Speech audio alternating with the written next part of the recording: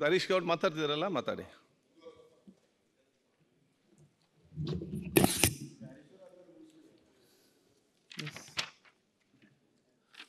ಹೇಳಿ. ಮಾನ್ಯ ಅಧ್ಯಕ್ಷರೇ ಎಲ್ಲ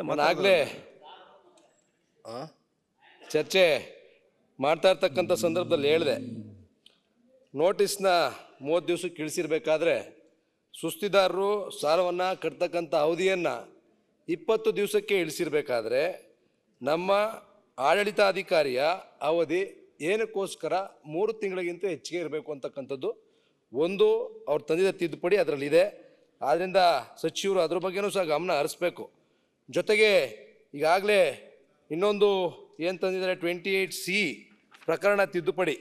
ಇದರಲ್ಲಿ ನಮ್ಮ ಏನು ಸಹಕಾರ ಸಂಘಗಳ ಅಧಿಕಾರಗಳನ್ನು ಹೇಳ್ತಾರೆ.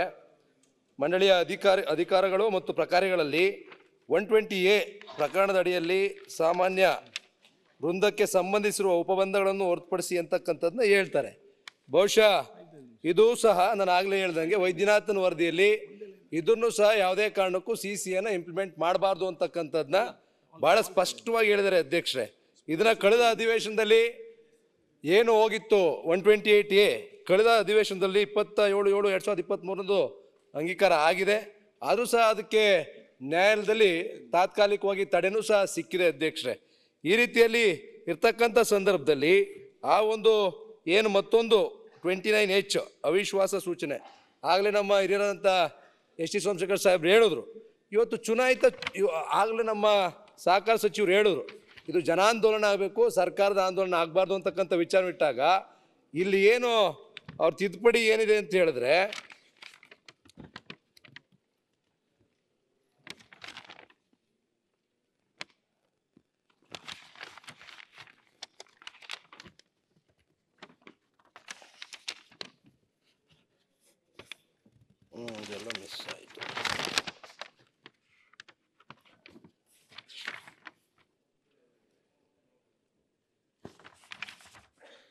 ಅಧ್ಯಕ್ಷರೇ, ಮೂಲ ಅಧಿನಿಯಮದ ಪ್ರಕರಣ ಇಪ್ಪತ್ತೊಂಬತ್ತು ಎಚ್ನಲ್ಲಿನ ಉಪಪ್ರಕರಣ ಒಂದರಲ್ಲಿ ಬರುವ ಚುನಾಯಿತ ಎಂಬ ಪದವನ್ನು ಬಿಟ್ಟು ಬಿಡತಕ್ಕದ್ದು ಎರಡು ಉಪಪ್ರಕರಣ ಎರಡರಲ್ಲಿ ಬರುವ ಚುನಾಯಿತ ಎಂಬ ಪದವನ್ನು ಬಿಟ್ಟು ಬಿಡತಕ್ಕದ್ದು ಮೂರು ಉಪಪ್ರಕರಣ ಎರಡರ ತರುವಾಯ ಈ ಮುಂದಿನದನ್ನು ಸೇರಿಸತಕ್ಕದ್ದು. ಪರತ್, ಪರಂತು ಇಪ್ಪತ್ತೆಂಟು ಎ, ಉಪಪ್ರಕರಣ ನಾಲ್ಕು ಎರಡು ನಿರ್ದೇಶಪಡಿಸಿ ವೃತ್ತಿಪರ ನಿರ್ದೇಶಕರು ಮತ್ತು ಕಾರ್ಯನಿರ್ವಾಹಕರ ನಿರ್ದೇಶಕರು ಅವಿಶ್ವಾಸ ನಿರ್ಣಯದ ಭಾಗವಾಗಿರತಕ್ಕದ್ದಲ್ಲ. ಚುನಾಯಿತ ಪ್ರತಿನಿಧಿಗಳ ಜೊತೆಗೆ ಏನು ಸರ್ಕಾರ ನಾಮನಿರ್ದೇಶನ ಮಾಡುತ್ತೆ, ಅವ್ರ ಮೂರು ಜನನು ಸೇರಿ ಅವಿಶ್ವಾಸ ನಿರ್ಣಯವನ್ನು ಮಂಡಿಸಲಿಕ್ಕೆ ಅವ್ರಿಗೂ ಸಹ ಅಧಿಕಾರ ಇದೆ ಅಂತಕ್ಕಂಥದ್ದು ಇಲ್ಲಿ ತೋರಿಸಿದ್ದಾರೆ.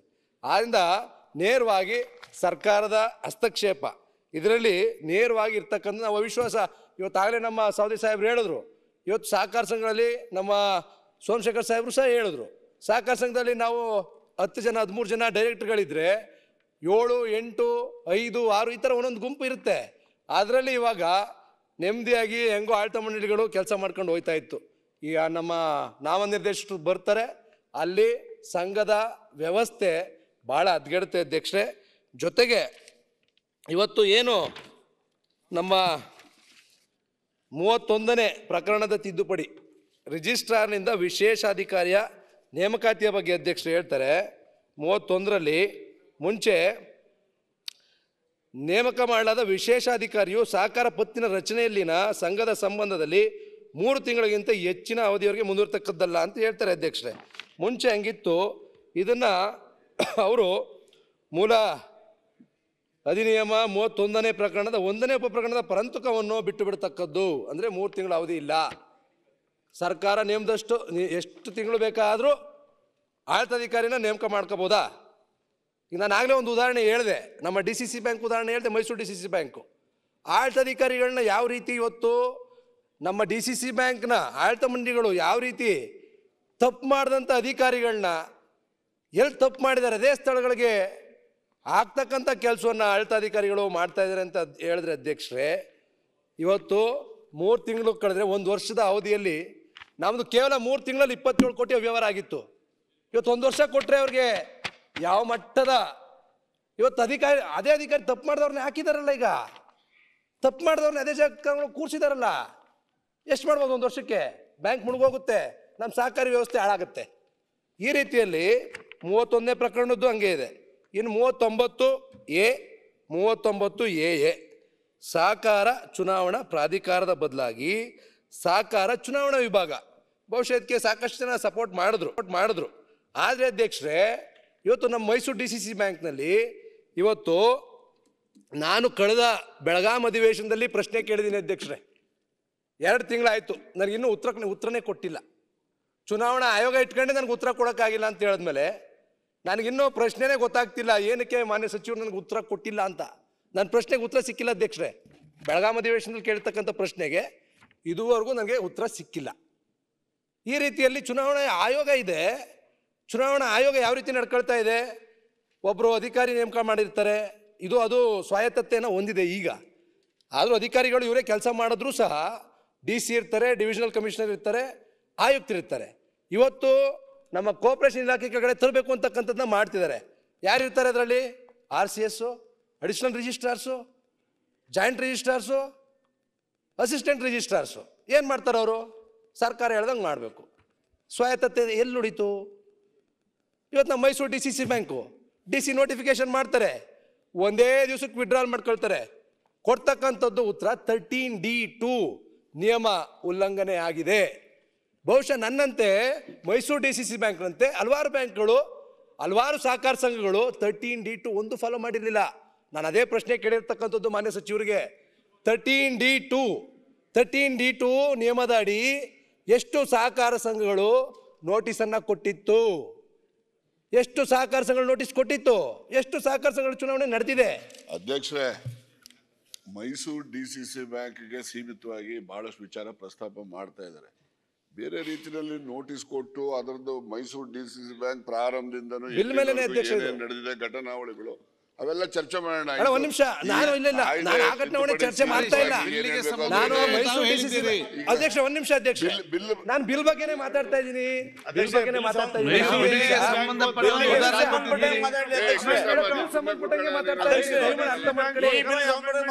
ನಮ್ಮಲ್ಲಿ ಡಿಸಿ ಬ್ಯಾಂಕ್ ಪ್ರಸ್ತಾವನೆ ಮಾಡೋದು ಬೇಡ.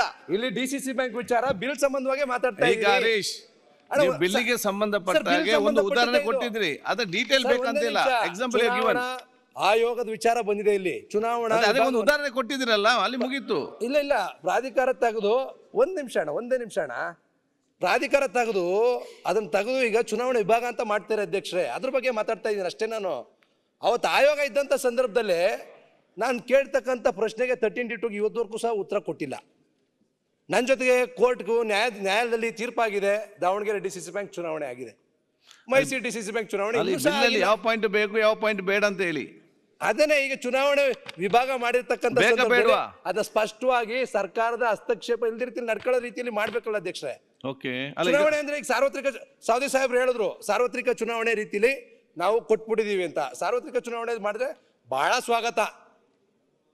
ಅದೇ ರೀತಿಲಿ ಯಾವುದೇ ನಾಮನಿರ್ದೇಶನ ಇಲ್ಲದೆ ಮಾಡಿಬಿಟ್ರೆ ಬಹಳ ಸ್ವಾಗತ ಮಾಡ್ತೀವಿ ಅಧ್ಯಕ್ಷರೇ.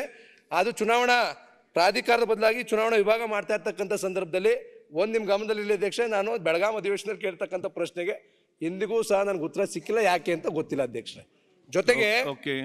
ಇವತ್ತು ನಮ್ಮ ವಿಭಾಗ ಆಯೋಗನೇ ಆ ರೀತಿ ನಡೀತಾ ಇತ್ತು ಅಂತ ಹೇಳಿದ್ರೆ ಡಿ ಸಿ ಅವರು ಒಂದೇ ದಿವಸ ನೋಟಿಫಿಕೇಶನ್ ಮಾಡ್ತಾರೆ ಸೇಮ್ ಡೇ ನೋಟಿಫಿಕೇಶನ್ ವಿಡ್ರಾ ಮಾಡ್ಕೊತಾರೆ ಅಧ್ಯಕ್ಷರೇ ಆಯೋಗನೇ ಆ ಮಟ್ಟಿಗೆ ಆ ಕಾರ್ಯ ವ್ಯಾಪ್ತಿಯಲ್ಲಿ ಕೆಲಸ ಮಾಡ್ತಾ ಇರ್ತಕ್ಕಂಥ ಸಂದರ್ಭದಲ್ಲಿ ಸ್ವಾಯತ್ತತೆ ಕೊಟ್ಟು ಸ್ವಾಯತ್ತತೆ ಕೊಟ್ಟು ಆಯೋಗ ಆ ರೀತಿ ಕೆಲಸ ಮಾಡಬೇಕಾದ್ರೆ ಸಂಪೂರ್ಣವಾಗಿ ಆರ್ ಸಿ ಎಸ್ ಕೆಳಗಡೆ ಬಂದರೆ ಯಾವ ರೀತಿ ಚುನಾವಣೆಗಳು ನಡೀಬೋದು ಅಂತಕ್ಕಂಥದ್ದನ್ನ ಬಹುಶಃ ನಾವೆಲ್ಲರೂ ಸಹ ಭಾಳಷ್ಟು ಜನಕ್ಕೆ ಇದ್ರ ಬಗ್ಗೆ ಇದೆ. ನಾವೆಲ್ಲ ವಿಭಾಗ ತೆಗಿಬೇಕು, ಆಯೋಗ ತೆಗಿಬೇಕು ಅಂತಕ್ಕಂತಿದೆ ಚುನಾವಣೆ ಟೈಮ್ ಆಗ್ಬೋದು. ಆದರೆ ಸ್ವಾಯತ್ತತೆ ಇಲ್ಲ.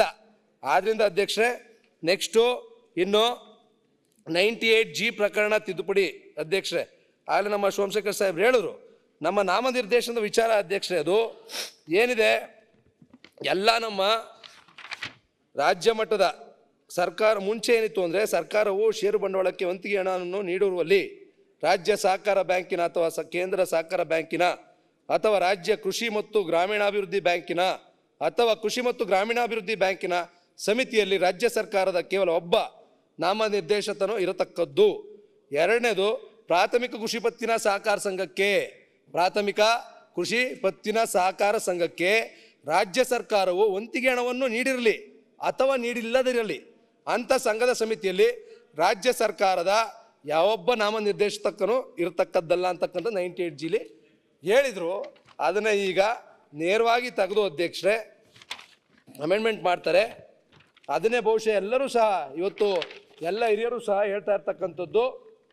ಆ ಒಂದು ನೈನ್, ಮೂಲ ಅಧಿನಿಯಮದ ತೊಂಬತ್ತೆಂಟು ಜಿ ಪ್ರಕರಣದ ಬದಲಾಗಿ ಈ ಮುಂದಿನಂತೆ ಪ್ರತಿಯೋಜಿಸತಕ್ಕದ್ದು ಸರ್ಕಾರ ನಾಮನಿರ್ದೇಶ ಸಂಖ್ಯೆಯ ಮೇಲೆ ನಿರ್ಬಂಧ ಪ್ರಕರಣ ಎರಡು ಖಂಡ ಎ ಒಂದು ಒಂದರಲ್ಲಿ ನಿರ್ದಿಷ್ಟಪಡಿಸಲಾದಂತೆ ಬ್ಯಾಂಕಿನ ಅಥವಾ ಪ್ರಾಥಮಿಕ ಕೃಷಿ ಪತ್ತಿನ ಸಹಕಾರ ಸಂಘ ಅಥವಾ ರಾಜ್ಯ ಕೃಷಿ ಮತ್ತು ಗ್ರಾಮೀಣಾಭಿವೃದ್ಧಿ ಬ್ಯಾಂಕಿನ ಅಥವಾ ಕೃಷಿ ಮತ್ತು ಗ್ರಾಮೀಣಾಭಿವೃದ್ಧಿ ಬ್ಯಾಂಕಿನ ಮಂಡಳಿಯಲ್ಲಿ ರಾಜ್ಯ ಸರ್ಕಾರದ ಮೂವರು ನಾಮ ನಾಮನಿರ್ದೇಶಿತರು ಇರತಕ್ಕದ್ದು.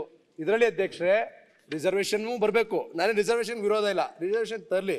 ಅದನ್ನ ಯಾವ ರೀತಿ ಮಾಡಬೇಕು ಅಂತಕ್ಕಂಥದ್ದು ಹೇಳಬೇಕು. ರಿಸರ್ವೇಷನ್ನು ನಮ್ಮದು ಇಪ್ಪತ್ತೊಂದು ಡಿ ಸಿ ಸಿ ಬ್ಯಾಂಕಿಂದ ಆಯ್ಕೆ ಆಗಿರ್ತೀವಿ ನಾನು ಡಿ ಸಿ ಸಿ ಬ್ಯಾಂಕಿಂದ ಅಪೆಕ್ಸ್ ಬ್ಯಾಂಕ್ ಹೋಗಿದ್ದೆ. ಯಾವ ರೀತಿ ರಿಸರ್ವೇಷನ್ ಅಲ್ಲಿ ತರ್ತಾರೆ ಅಂತಕ್ಕಂಥದ್ದನ್ನ ಇಲ್ಲೆಲ್ಲೂ ಸಹ ಹೇಳಿಲ್ಲ. ಹೇಳಿದ್ರು ಆಗಲೇ ತೊಂಬತ್ತೇಳನೇ ಅಮೆಂಡ್ಮೆಂಟು ಏನು ತೊಂಬತ್ತೇಳನೇದು ಒಟ್ಟೋಗಿದೆ ಅದನ್ನ ಪುನಃ ಜಾರಿಗೆ ಯಥಾವತ್ತಾಗಿ ಜಾರಿಗೆ ತಂದಿಲ್ಲ. ತೊಂಬತ್ತೇಳನೇಂದ ಸಂಪೂರ್ಣವಾಗಿ ತರಲಿಕ್ಕೆ ಆಗಿಲ್ಲ.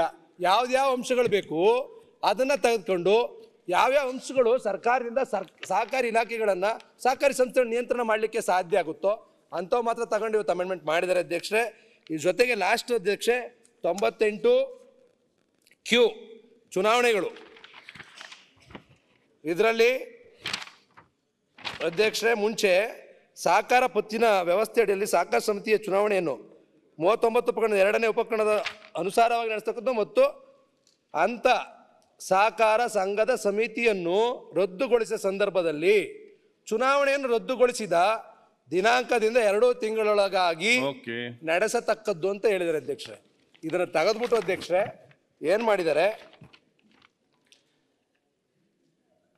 ಮೂಲ ಅಧಿನಿಯಮದಲ್ಲಿ ತೊಂಬತ್ತೆಂಟು ಕ್ಯೂ ಪ್ರಕರಣದ ಒಂದನೇ ಉಪ ಪ್ರಕರಣದಲ್ಲಿ ಬರುವ ರದ್ದುಗೊಳಿಸಿದ ದಿನಾಂಕದಿಂದ ಎರಡು ತಿಂಗಳೊಳಗೆ ಎಂಬ ಪದಗಳನ್ನು ಬದಲಾಗಿ ಆಡಳಿತಾಧಿಕಾರಿಯ ಪದಾವಧಿಯು ಮುಕ್ತಾಯಕ್ಕೆ ಮುಂಚೆ.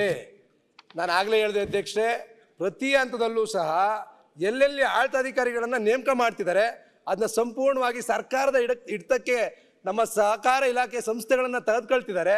ಅದನ್ನ ಬಹುತೇಕ ಇದು ಇದರ ಅರ್ಥ ಚುನಾವಣೆ ಮಾಡದೇ ಇದ್ದರೆ ಬಹುಶಃ ಸರ್ಕಾರನೇ ಸಂಪೂರ್ಣವಾಗಿ ಎಲ್ಲ ಸಹಕಾರ ಸಂಸ್ಥೆಗಳನ್ನ ಸರ್ಕಾರ ವತಿಯಿಂದ ನಡೆಸಿದ್ರೆ ಬಹಳ ಚೆನ್ನಾಗಿರುತ್ತೆ ಅಧ್ಯಕ್ಷ. ಇದ್ರ ಜೊತೆಗೆ ಅಧ್ಯಕ್ಷರೇ ನಾನು ಹೇಳ್ತಕ್ಕಂಥ ಇದೊಂದೇ ಇನ್ನೊಂದು ಲಾಸ್ಟ್ ಅಧ್ಯಕ್ಷರೇ. ಇದು ಇಷ್ಟು ಸಹ ಇವತ್ತು ಮಾನ್ಯ ಸಚಿವರು ರಾಜಣ್ಣ ಅವರು ಮೂವತ್ತೈದು, ನಲವತ್ತು ವರ್ಷದಿಂದ ನಮ್ಮ ಡಿ ಸಿ ಸಿ ಬ್ಯಾಂಕ್ ಅಧ್ಯಕ್ಷರಿದ್ದಾರೆ ಅಪೆಕ್ಸ್ ಬ್ಯಾಂಕ್ಸ್ಗೂ ಸಹ ಅಧ್ಯಕ್ಷರಾಗಿದ್ರು. ಅವ್ರಿಗೇನು ಗೊತ್ತಿಲ್ಲದೆ ಇರ್ತಕ್ಕಂಥದ್ದೇನೂ ಇಲ್ಲ. ಬಹುತೇಕ ನಮ್ಮ ಸಹಕಾರಿ ಕ್ಷೇತ್ರದಲ್ಲಿ ಇರ್ತಕ್ಕಂಥ ಎಲ್ಲ ಹಿರಿಯರು, ಸಹಕಾರಿ ಕ್ಷೇತ್ರದಲ್ಲಿ ಎಲ್ಲ ಇರ್ತಕ್ಕಂಥ ಕಾಂಗ್ರೆಸ್ ಇರ್ಬೋದು ಬಿ ಜೆ ಪಿ ಇರ್ಬೋದು ಜನತಾದಳ ಇರ್ಬೋದು, ಎಲ್ಲರೂ ಸಹ ಇದರಲ್ಲಿರ್ತಕ್ಕಂಥ ಅಂಶಗಳನ್ನು, ಎಲ್ಲ ವಿಚಾರಗಳನ್ನಲ್ಲ ಏನೇನು ಪ್ರಸ್ತಾಪ ಪ್ರಸ್ತಾಪ ಮಾಡಿದೀವಿ ಅಧ್ಯಕ್ಷರೇ. ಬಹುಶಃ ನನಗೂ ಅನಿಸುತ್ತೆ, ಮನೆ ಸಚಿವರಿಗೂ ಸಹ ಇದು ಎಲ್ಲ ಒಂದು ಕಡೆ ಇಷ್ಟ ಇಲ್ಲ. ಆದರೂ ಸಹ ಮೊನ್ನೆ ಮಾಡಿದ್ದಾರೆ ಇವತ್ತು ಎಲ್ಲ ಸಹಕಾರಿಗಳು ಇದೇ ಸಹಕಾರಿಗಳನ್ನ ದಯಮಾಡಿ ಇದ್ರ ವಿಚಾರವಾಗಿ ಮತ್ತೊಮ್ಮೆ ಕನ್ಸಲ್ಟ್ ಮಾಡಿ ಈ ಒಂದು ಆ, ವಿಧೇಯಕವನ್ನು ಅಂಗೀಕರಿಸಬೇಕು ಅಂತಕ್ಕಂಥದ್ದನ್ನ ನಾನು ಹೇಳಿಕೆ ಬಯಸ್ತೇನೆ ಅಧ್ಯಕ್ಷರೇ ನಮಸ್ಕಾರ. ನ್ಯೂಸ್ ಫಸ್ಟ್ ನಿರ್ಭೀತಿಯಿಂದ ನಿಮ್ಮ ಪರವಾಗಿ.